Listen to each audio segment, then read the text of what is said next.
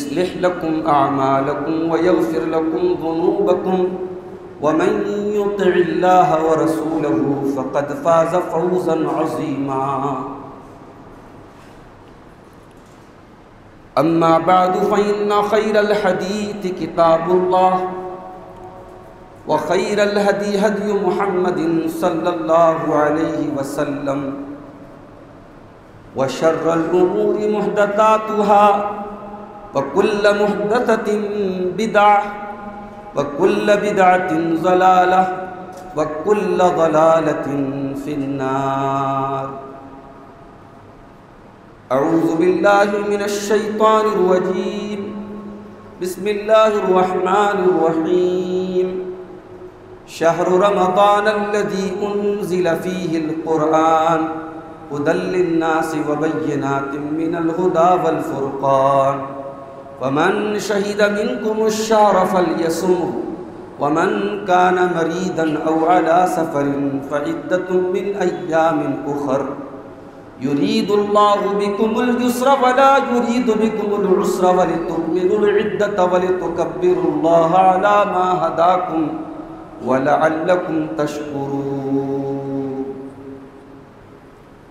मोहतरम हाजरीन जुमा आज रमज़ान का आखिरी जुमा है। सबसे पहली बात तो आप ये समझ लीजिए कि रमज़ान के आखिरी जुमा की कोई अलग अहमियत नहीं है। आज के दिन कोई स्पेशल दुआ करना, स्पेशल इबादत करना, मस्जिदों को स्पेशली डेकोरेट करना रमज़ान को अलविदा कहते हुए नज़में पढ़ना, ये तमाम की तमाम चीज़ें बिदात थी। रमज़ान के आखिरी जुमा के लिए अलग से कोई हुक्म नहीं है और इसको अलग से मनाने का हुक्म नहीं हमारे यहाँ इसको अलविदा का जुमा कहते हैं। लेकिन ये बात तो है कि अब आज हम सत्ताईसवां रोज़ा है। अब दो या तीन दिन का मामला और है। उसके बाद ये बरकत वाला महीना हमसे रुखसत हो जाए। ये उनतीस या तीस दिन का ये महीना,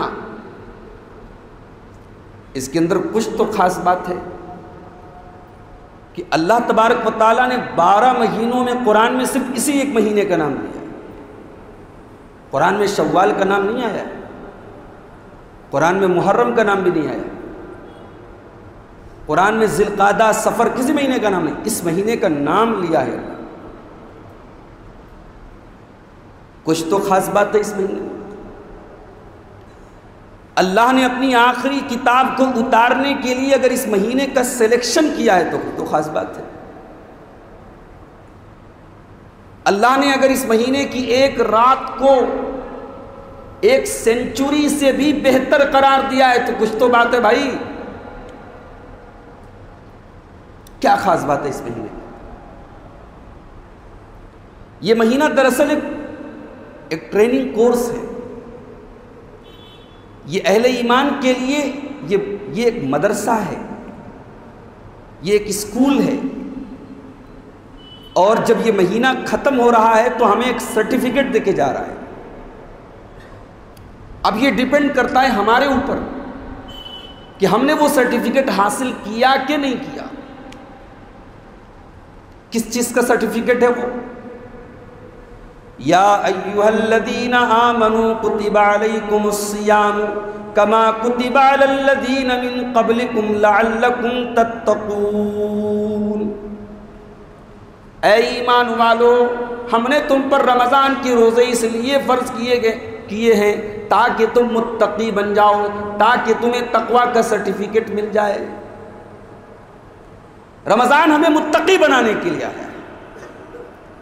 अगर रमज़ान गुजर गया और हम मुत्तकी नहीं बन सके हम तकवा नहीं पैदा कर सके तो इसका मतलब कि हमने इस, रम, इस महीने के मकसद को समझाई। ये महीना हमें सिखाता है कि ज़िंदगी इसका नाम नहीं है कि जो दिल में आए वो करो। ज़िंदगी मन चाही ज़िंदगी गुजारने का नाम नहीं है, ज़िंदगी रब चाही ज़िंदगी गुजारने का नाम। रब ने चाहा तो हमने भूख की तकलीफ़ बर्दाश्त की। रब ने चाहा तो हमने प्यास की तकलीफ़ बर्दाश्त की। रब ने चाहा तो हमने अपनी शहवतों को लगाम दी। रब ने चाहा तो हमने अपनी ज़ुबान को लगाम दी। अगर उस रब के चाहने पर हम हलाल और जायज़ चीज़ों से बच सकते हैं तो उस रब के हुक्म पर हम हराम चीज़ों से भी बच सकते हैं और इसी का नाम तकवा है। इसीलिए वो हदीस खुद से याद कीजिए। अल्लाह के प्यारे नबी फरमाते हैं कि अल्लाह ताला कहता है कि रोज़ा मेरे लिए है और मैं ही उसका बदला दूँ यदवतामहू व शराबहू व शहवतहू मिन अजली। बंदा मेरे लिए अपना खाना छोड़ देता है, अपना पानी छोड़ देता है, अपनी शहावत छोड़ देता है। बंदा सिर्फ़ मेरे लिए अपनी ज़िंदगी की तीन बुनियादी ज़रूरतों को कुर्बान कर देता है। जब बंदा मेरे लिए इतना करता है तो मैं अपने बंदे को क्या बदला दूँगा? ये मेरे और बंदे के बीच में सीक्रेट है। मैं किसी और को नहीं बताऊँगा। मैं रोज़े का सवाब क्या है? मैं कल क़यामत के दिन जब मैं सवाब को बांटूँगा, तब बताऊँगा। वलिसाइमी फरहतान, और अल्लाह के नबी फरमाते कि रोज़ेदार को दो खुशियाँ मिलती हैं। एक खुशी तो तब मिलती है फ़रहतुन इन द फित्री ही एक खुशी तो तब मिलती है जब उसका रोज़ा कंप्लीट होता है। अब रोज़ा कंप्लीट होने का दो मतलब है। एक तो आपका रोज़ा रोज़ाना कंप्लीट हो रहा है मगरिब के वक्त। और एक आपके पूरे महीने के रोज़े कंप्लीट होंगे ईद की चाँद रात वाले दिन। तो रोज़ेदार को अपने रोज़े के कंप्लीट होने की बड़ी खुशी होती है कि मैंने अपनी इबादत को मुकम्मल कर लिया। और दूसरी खुशी रोज़ेदार को तब होगी जो अल्लाह ताला से जब वो मुलाकात करेगा और अल्लाह ताला उसके रोज़े का बदला देगा। तो ये रोज़े से हमने पहला सबक सीखा है, तकवा का सबक सीखा है।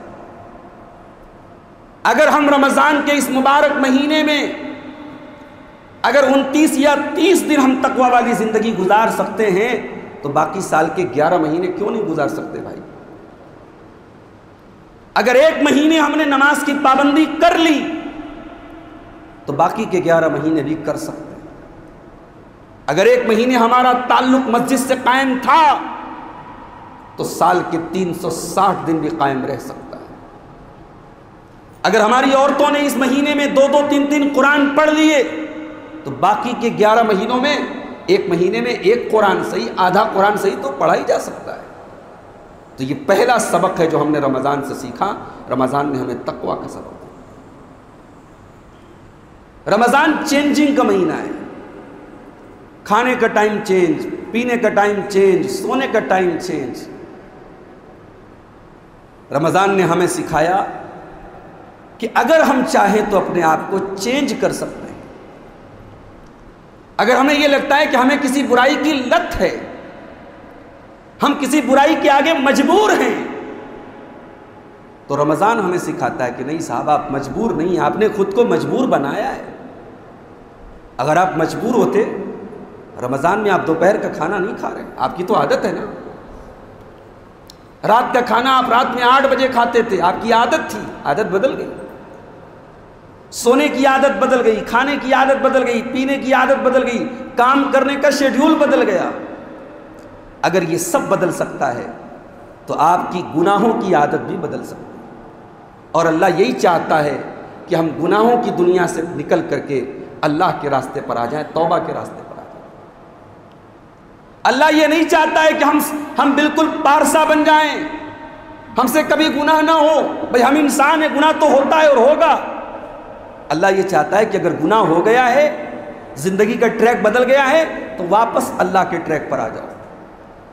वल्लजीन फ़ालू फ़ाहिशतन औ अनफुसहुम ज़करुल्लाह फस्तगफरू लिज़ुनूबिहिम व मन इल्लल्लाह अल्लाह के नेक बंदे वो होते हैं अल्लाह के मुत्तकी बंदे वो होते हैं जब उनसे कोई गुनाह हो जाए, जब वो अपनी जानों के ऊपर कोई जुल्म कर दे, वो अल्लाह को याद कर लेते हैं और अल्लाह से अपने गुनाहों की माफ़ी मांग लेते हैं। और अगर अल्लाह ताला उनके गुनाहों को माफ़ नहीं करेगा तो कौन करेगा? वलम यालमून। वो जान बूझ करके अपने गुनाहों पर डटे नहीं रहते, वो अपने गुनाहों पर जिद नहीं करते, वो अपने गुनाहों के ऊपर कायम नहीं रहते। गुनाह पर कायम मत रहो मेरे भाई। रमज़ान ये सबक दे के जा रहा है। चेंज योर लाइफ ज़िंदगी को बदलो। बहुत हुई गुनाहों की ज़िंदगी। बहुत हुई अल्लाह को नाराज़ करने वाली ज़िंदगी। ज़िंदगी अल्लाह को राज़ी करने के लिए बनाओ। ज़िंदगी का कुछ मकसद हो, ज़िंदगी का कोई टारगेट हो, अरे घर मकान तो सब बना लेते हैं। दुनिया तो सब कमा लेते हैं। कामयाबी तो तब है कि जब जन्नत में छोटा सा ही एक घर हमको मिल जाए। कामयाबी तो तब है। हमारे बच्चे दुनिया में बड़ी तरक्की कर रहे हैं। कामयाबी तो तब है जब अपने बच्चों के साथ हम जन्नत में चले जाए। दुनिया की गर्मी से बचने के लिए हमने एसी लगवा भी लिया तो कौन सा कमाल है? दुनिया की सर्दी से बचने के लिए हमने मोटे कपड़े पहन भी लिए तो कौन सा कमाल है? कमाल तो ये है, हम जहन्नम की गर्मी से बच जाएँ, हम जहन्नम की सर्दी से बच जाएँ। तो ये बात याद रखें। रमज़ान का ये दूसरा सबक है, रमज़ान हमें चेंजिंग का सबक देता रमज़ान का तीसरा सबक टाइम मैनेजमेंट सुबह अगर शहरी का टाइम चार बज करके पचास मिनट पर है तो आप चार बज करके इक्यावन मिनट पर पानी पीने के लिए अलाउड नहीं है, खाना खाने के लिए अलाउड नहीं है। अरे, एक मिनट की बात है भाई। सिक्सटी सेकंड साठ सेकंड की बातें खा लिया तो क्या? अरे, तेरा रोजा खतरे में पड़ जाएगा। इफ्तार का टाइम अगर छह बजकर के फोर्टी फाइव पर है तो आप फोर्टी फोर पर इफ्तार नहीं कर सकते। इजाज़त नहीं है आप इस्लाम के अंदर टाइम मैनेजमेंट कितनी बड़ी चीज़ है, ये हमको रमज़ान सिखाता है। एक मिनट से हमारा रोज़ा खतरे में पड़ सकता है। हमारे दीन से ज़्यादा वक्त और टाइम की कदर कीमत किसी दुनिया के मज़हब में नहीं। इमाम मसल्ले पर खड़ा है और उस वक्त पहली सब में जो लोग मौजूद हैं, इमाम ने कहा, अल्लाह अकबर। इमाम ने नमाज़ शुरू की। उसके साथ जितने लोग खड़े थे, सबने नमाज़ शुरू की। आप 10 सेकंड के बाद मस्जिद में आए। कितने सेकंड के बाद? 10 सेकंड के बाद। इमाम के अल्लाह अकबर कहने के बाद आप आए आपको वो सवाब नहीं मिल सकता जो 10 सेकंड पहले आने वालों को मिला है। It is the value of time in Islam ये टाइम की कीमत है इस्लाम की। आप पाँच मिनट बाद आए, आपको दूसरी सब में जगह मिली। आपने जोहर की पूरी चार रकात पढ़ी, इमाम के साथ पढ़ी। मगर माफ़ कीजिएगा, आपको वो सवाब नहीं मिला जो पहली सब में शामिल होने वाले और यही वो बात है जिसको अल्लाह के नबी ने उस हदीस में बयान फरमाया कि अगर लोगों को पता लग जाए कि इमाम के साथ इकामत में, पहली तकबीर में और इसी तरीके से पहली सब में शामिल होने का क्या सवाब है? लस्ता लस्ताहमुआली तो लोगों को अगर पर्ची डालना पड़े, ड्रॉ करना पड़े तो ड्रॉ करेंगे, लेकिन पहली सब में आएँगे और एक हदीस में अल्लाह के नबी ने फरमाया लतुमा हबवन। किसी किसी अपाहिज आदमी को दिखाया आपने जो चल नहीं सकता? वो बेचारा बैसाखी के सहारे चलता है। वो ज़मीन में घिसट घिसट करके चलता है। अल्लाह के नबी ने फरमाया, अगर तुमको नमाज़ की पहली सब की फजीलत पता लग जाए और इमाम के साथ शामिल होने की फजीलत पता लग जाए तो तुम घिसट घिसट करके आओगे, लेकिन टाइम से आओ। रमज़ान हमें नमा, हमें वक्त की पाबंदी सिखाता है। और दुनिया जानती है कि ज़िंदगी में वही लोग कामयाब होते हैं जो टाइम की कद्र करते हैं। अरबी में कहावत है अल वक्त कसईफ टाइम तलवार की तरह है, वक्त तलवार की तरह है। अगर आप उसको नहीं काटेंगे, वो आपको काट डालेगा। वक्त तलवार की तरह है। अगर आप वक्त को सही तरीके से नहीं काटेंगे तो वक्त आपको काट डालेगा। अरे भाई, वक्त की पाबंदी के बगैर दुनिया नहीं मिलती। नौकरी करने वाला पाँच मिनट लेट पहुँचे, नौकरी से डिसमिस कर दिया जाता है। कारोबार करने वाला टाइम से दुकान ना खोले, उसकी दुकान खत्म हो जाती है। जो वक्त की पाबंदी न करे, उसकी दुनिया लुट जाती है। तो जो इस्लाम के अंदर वक्त की पाबंदी न करे, उसकी आखिरत लुट जाएगी। ये रमज़ान हमें सिखा रहा है। रमज़ान एक सबक हमको और दे रहा है। हम तो अपने बच्चों के साथ तरह तरह की नेमतें खा रहे हैं। कितना खाना हमारे घरों में वेस्टेज हो रहा है, बर्बाद हो रहा है। इसी रूए ज़मीन पर अल्लाह के कितने बंदे ऐसे हैं जो भूखे रहते हैं, जिनके बच्चे भूखे रहते हैं, वो हमारी तरह बाई च्वाइस भूखे नहीं रहते। हम तो रमज़ान में बाई चॉइस भूखे हमारे पास खाना है, तब भी हम भूखे अल्लाह के हुक्म पर भूखे रमज़ान हमें ये सबक दे करके जा रहा है अय अल्लाह के बंदो, तुम जब बाई चॉइस भूखे हो, जब तुम अपनी मर्ज़ी से भूखे हो, और तुम्हें भूखो प्यास की तकलीफ़ का एहसास हो रहा है, ज़रा अल्लाह के उन बंदों के बारे में सोचो, जो अपनी मर्ज़ी से भूखे नहीं है, बल्कि मजबूरी में भूखे हैं। उनके पास इतना खाना ही नहीं है, उनके बच्चों के पास इतना खाना ही नहीं है। वो एक टाइम खा ले तो दूसरे टाइम का कोई इंतज़ाम नहीं है, वो एक एक, दो दो दिन के फाके भी करते हैं। अगर रमज़ान ना होता तो हमें भूख की तड़प कैसे पता लगती मेरे भाई? हमें कैसे एहसास होता कि इसी दुनिया में ऐसे भी लोग हैं, जिनके बच्चे एक एक रोटी, आधी रोटी के लिए तरसते हैं। रमज़ान हमें गरीबों और भूखों की तकलीफ़ का एहसास दे रहा रमज़ान हमें यह सिखाता है कि अरे दुनिया के लिए जी भी लिए तो क्या जी लिए? अपने लिए जी भी लिए तो क्या जी लिए? ज़िंदगी तो दूसरों के लिए भी होनी चाहिए। अल्लाह के नबी ने फरमाया ना, जो किसी रोज़ेदार को इफ्तार कराता है, उसको पूरा सवाब मिलता है इफ्तार रोज, रोज़ा रखने वाले के भाई पैसा हमारा है, माल हमारा है, खाना हम बना रहे हैं, लेकिन हम खुशी खुशी दूसरे को खिला रहे हैं। क्योंकि हमें एक इत्मीनान मिलता है, सुकून मिलता है, कि खा तो ये रहा है, इसका सवाब हमको भी मिलेगा।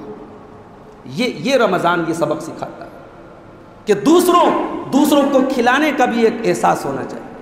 दूसरों को खुशी देने का भी एक एहसास होना चाहिए।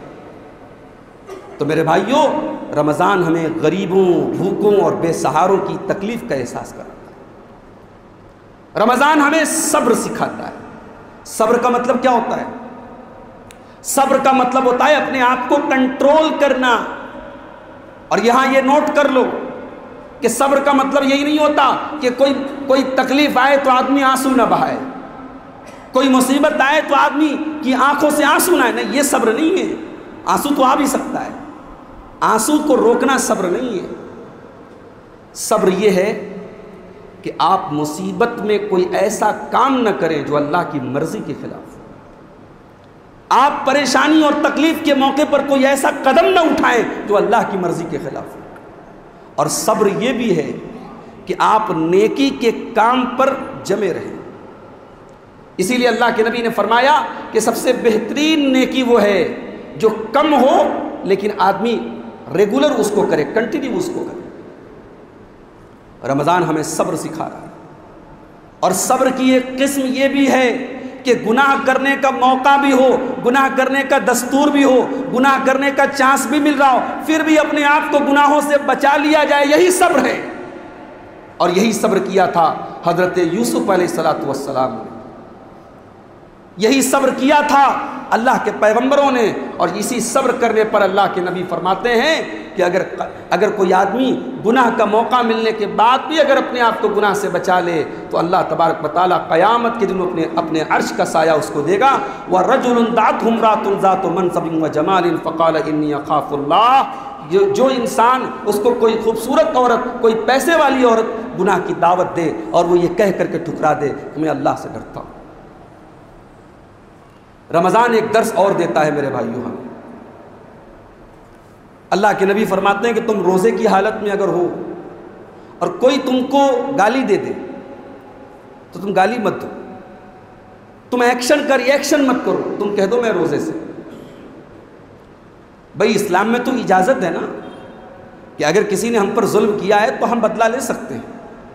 किसी ने एक थप्पड़ मारा है तो हम उसको भी एक थप्पड़ मार सकते हैं। लेकिन रमज़ान हमें यह सिखा रहा है कि माफ़ कर दो। लोगों को अपनी ज़ुबान से तकलीफ़ मत पहुंचाओ। लोगों को अपने हाथ से तकलीफ़ मत पहुंचाओ। मुसलमान मत बनो, बेहतरीन मुसलमान बनो। और बेहतरीन मुसलमान की पहचान क्या है?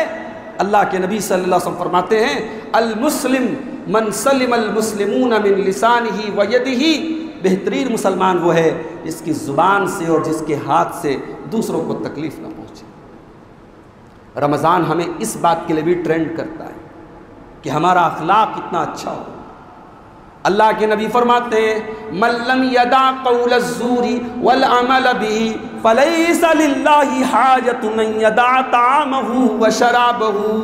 जो इंसान अपनी ज़ुबान पर कंट्रोल ना करे, जो झूठ बोलना ना ख़त्म करे, जो गीबत करना ना ख़त्म करे, जो ज़ुबान से दूसरों को तकलीफ़ पहुंचाना ख़त्म न करे, उसको कोई ज़रूरत नहीं है खाना और पानी से रुक जाने की। वो खाना भी खा ले, वो पानी भी पी ले, इसलिए कि खाने और पानी से रुकने का नाम रोज़ा नहीं है। रोज़ा तो गुनाहों से रुकने का नाम है। तो रमज़ान हमें ये सबक देता है कि अपने अखलाक को हम अच्छा लें। रमज़ान एक सबक और देता है। हम नेकी के काम करें तो अकेले ना करें विथ फैमिली करें। जैसे हम घूमने जाते हैं विथ फैमिली हम तफरी करने जाते हैं विथ फैमिली हम खुशियों में शामिल होते हैं विथ फैमिली तो रमज़ान में तरावी भी पढ़े विथ फैमिली रमज़ान में एहतिकाब भी करें अगर पॉसिबल हो तो विथ फैमिली अगर रमज़ान में ताक रातों में जाग रहे हैं तो विद फैमिली जागे। और ये अल्लाह के नबी की सुन्नत है। अम्मा आयशा फरमाती हैं कि जब रमज़ान का आखिरी अशरा आता था, अल्लाह के प्यारे नबी सल्लल्लाहु अलैहि वसल्लम अपने अहल वयाल को, अपनी फैमिली को जगाते थे और ख़ुद भी रात भर जागते थे और अपनी कमर कस लेते थे एक्टिव हो जाते थे, चुस्त हो जाते थे। रमज़ान ये दर्स भी हमको दे करके जा और रमज़ान के दो और सबक बयान करके मैं बात ख़त्म करूँगा। रमज़ान एक सबक और देता है। और वो सबक ये है कि शरीयत अपनी ख्वाहिशात के मुताबिक चलने का नाम नहीं है। शरीयत नबी की इत्तबा का नाम है, कुरान सुन्नत की इत्तबा का नाम। अल्लाह के नबी फरमाते हैं कि ला यजालनासु बिखैर मा अज्जलुल लोग उस वक्त तक भलाई के साथ रहेंगे जब तक इफ्तार में जल्दी करेंगे।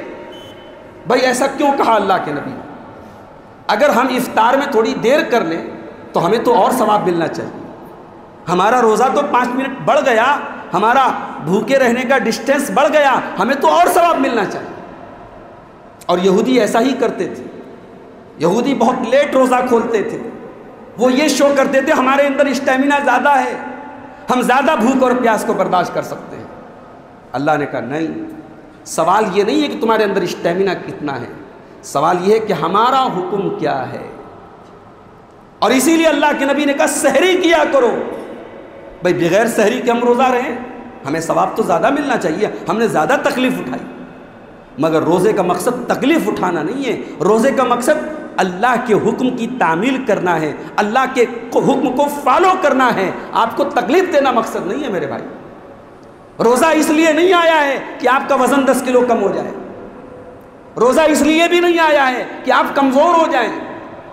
रोज़ा तो इसलिए आया है कि आपको ये सबक दिया जाए कि ज़िंदगी अल्लाह और उसके रसूल की इत्तबा करना इसीलिए सूर्य बकरा की वो आए जिसमें रोज़े का ज़िक्र है, वहाँ अल्लाह ने बड़ी प्यारी बात कही।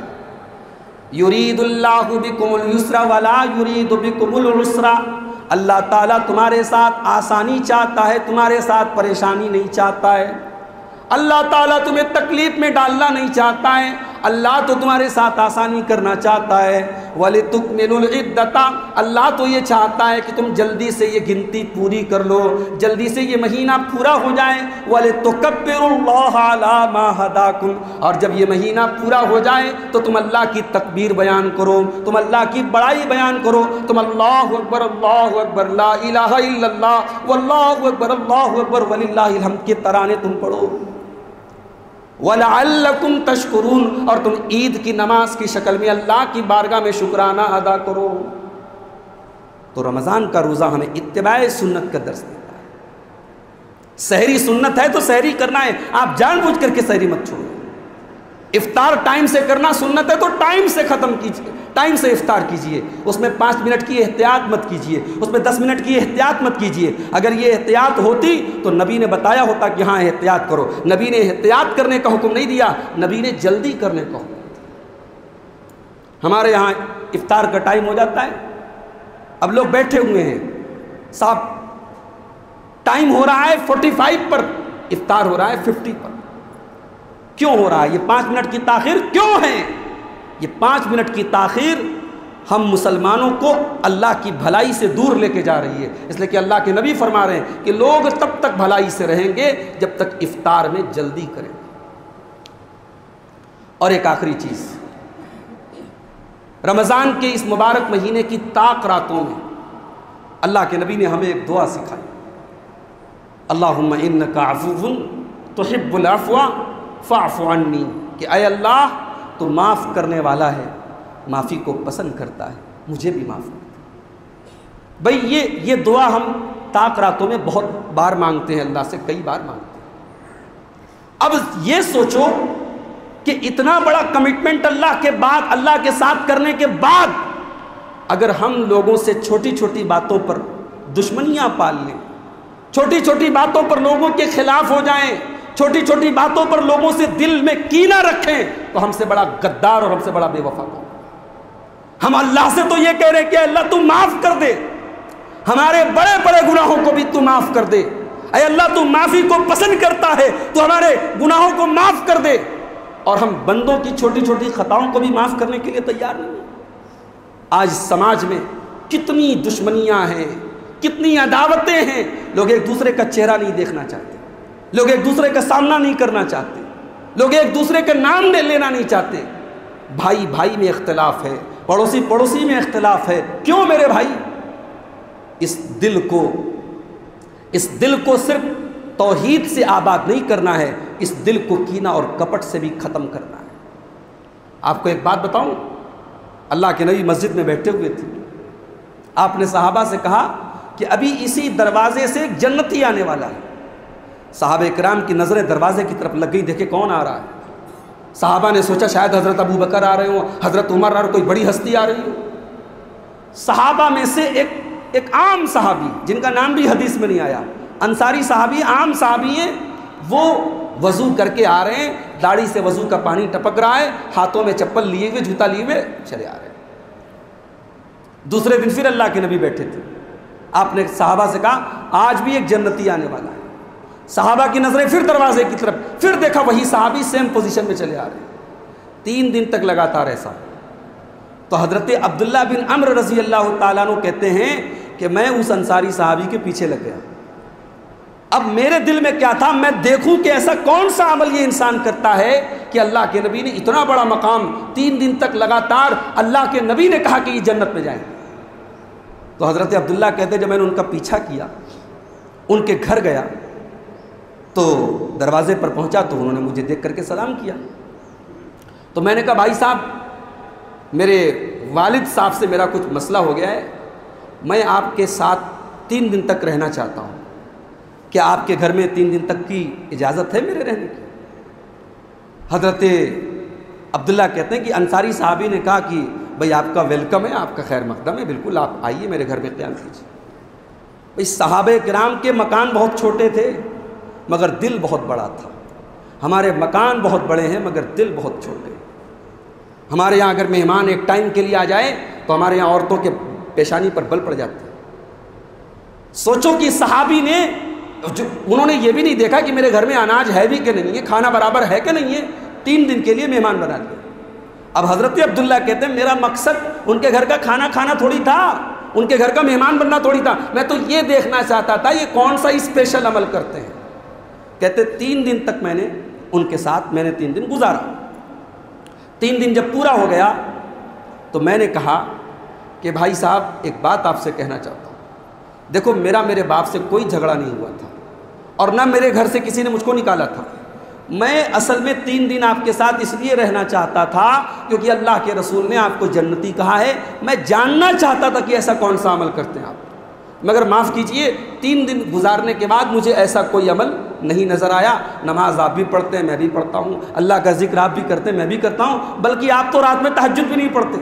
आप रात में अगर आपकी नींद खुलती है, आप अल्लाह की तस्वीर बयान कर लेते बस। आप बस पाँचों टाइम के पाबंद हैं। मैंने कोई ऐसी चीज़ आपके अंदर नहीं देखी कि जिसकी वजह से मुझे ऐसा लगे कि अल्लाह के नबी ने आपको जन्नती कहा है। अब आप बता दीजिए कि क्या वजह है। तो अंसारी साहबी कहते हैं कि भाई साहब, मेरे अंदर तो ऐसी कोई स्पेशल चीज़ नहीं है।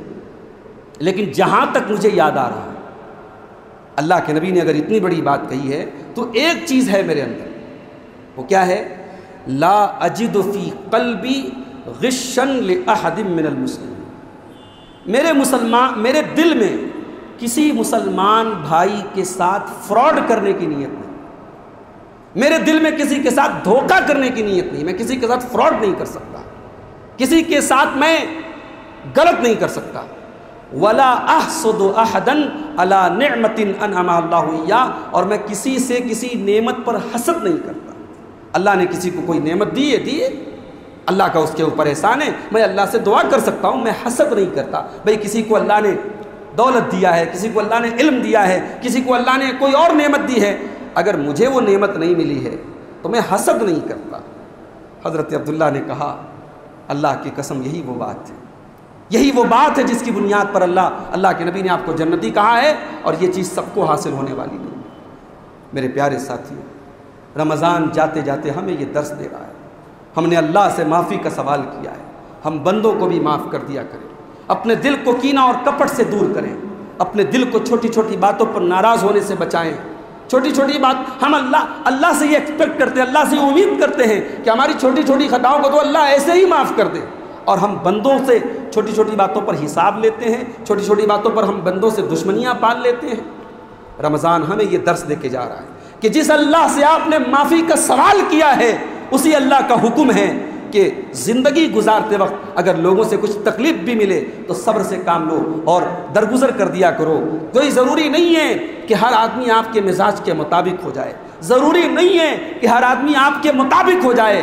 ये ज़िंदगी है मेरे भाई। बहुत सारे लोग आपके मिजाज के ख़िलाफ़ बात करेंगे। बहुत सारे लोग आप पर तनकीद करेंगे, आप पर एतराज़ करेंगे, आपके अच्छे काम को बुरा कहेंगे। अरे दुनिया तो वह है जिसने अल्लाह के नबियों को नहीं छोड़ा, रसूलों को नहीं छोड़ा पैगम्बरों को नहीं छोड़ा, सहाबा को नहीं छोड़ा। अरे और तो और। दुनिया तो वह है कि अल्लाह को भी नहीं छोड़ा। अल्लाह के बारे में भी गुस्ताखियाँ की गई। अल्लाह को गालियाँ दी।